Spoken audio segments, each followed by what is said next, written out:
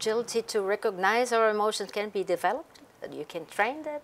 Oh, yeah, I, I mean, absolutely. You know, what I talk about in emotional agility and in my general work is how all organizations are calling for people to be agile.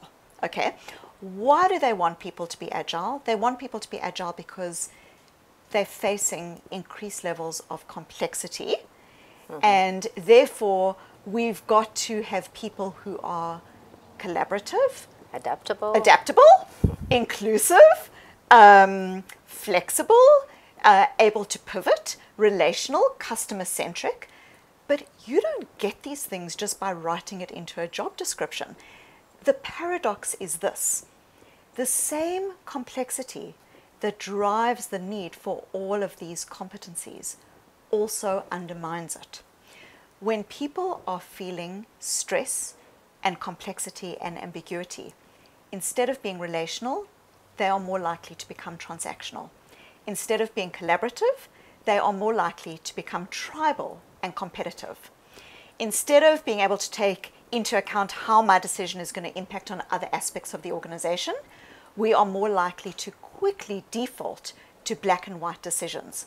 So the same complexity that drives the need for agility also undermines it because in fact our technology has evolved faster than our ability as human beings to adapt. So your question, can you develop these skills? The fundamental skills of emotional agility have been assessed in organizations, in high performing Olympic athletes, in leaders.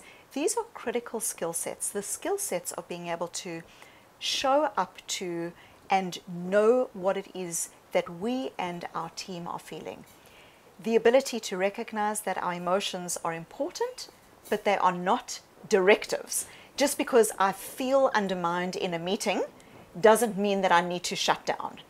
Just because the client has made me angry doesn't mean that I need to not return their telephone calls. Our emotions are data, not directives. And so emotional agility is about being able to show up to emotions, being able to create space between us and our emotions, being able to, in that space, take actions that are more values concordant, and mm. to be able to create habits in our leadership and in our organizations that are aligned with how we want to be intentionally rather than picking up on subtle cues in the environment or subtle emotions of other people that don't necessarily um, fulfill who we're trying to be when we lead. Thank you, Susan. Thank you. E você acompanha aqui no Carreira em Destaque entrevistas com os principais executivos, gestores, headhunters da área de recursos humanos.